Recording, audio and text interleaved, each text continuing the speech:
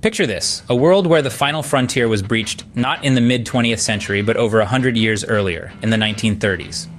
A reality where humanity had already taken its first steps among the stars, forever altering the course of history.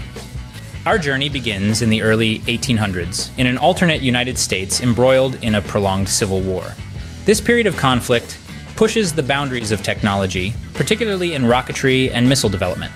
By 1830, mankind has rockets capable of planetary orbit, setting the stage for aviation's future and the dawn of space exploration.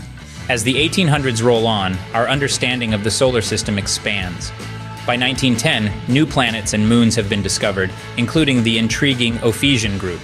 Initially, relations between Earth and these new systems are cordial, but as Earth's power grows, so too do the tensions. We'll fast forward to the mid 1920s. Travel between Earth and the Ophidian group becomes fraught with difficulty. Earth grows suspicious of the Ophidians' oppressive nature, leading to an era of mistrust and heightened border security. This period becomes known as the Papers, Please era. Yet the 1920s also mark a time of great technological advancement.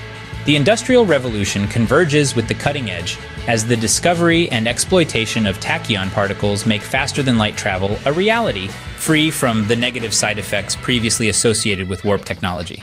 Meanwhile, the Ophidian group, under the leadership of a series of suzerains and suzaris from the ocean planet Ophisia, begins a rapid expansion.